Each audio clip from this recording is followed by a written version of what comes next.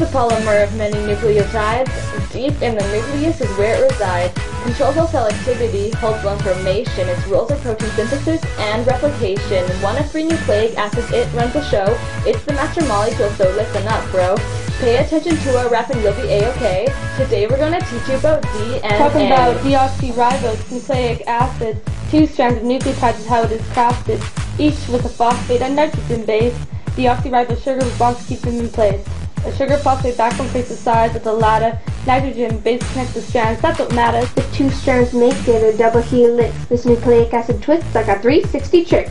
Nucleotides differ by the bases they possess. Adenine and guanine one more ring than the rest. These double ring structures are called purines. The bases cytosine and thymine are pyrimidine. There's one more pyrimidine that's called uracil. Not found in DNA, RNA is where it shows. Thymine and adenine always stick together. Guanine and cytosine are best friends forever. It's the polymer of many nucleotides. Deep in the nucleus is where it resides. Controls all cell activity, holds all information. Its roles are protein synthesis and replication. One of three nucleic acids, it runs the show.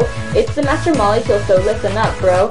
Pay attention to our rap and you'll be a-okay. Today we're gonna teach you about DNA. DNA replication is the process where genes are copied for information to share. Each strand is a template to make two exact copies.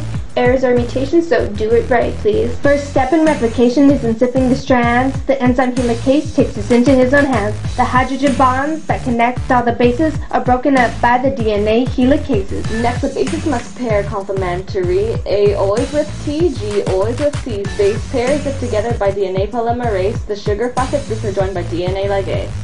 The original strand is now divided in two. Semi-conservative means one old and one new. The longest stage of cell division is when replication occurs. The stage is called interphase. Now listen to our words.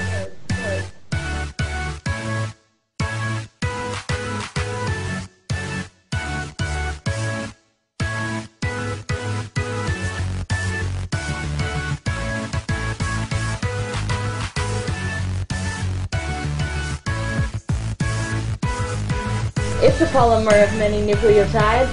Deep in the nucleus is where it resides. Controls all cell activity, holds all information. Its rules are protein synthesis and replication. One of three nucleic acids, it runs the show. It's the master molecule, so listen up, bro. So now you might wonder why it needs to replicate to maintain cell integrity. This is DNA.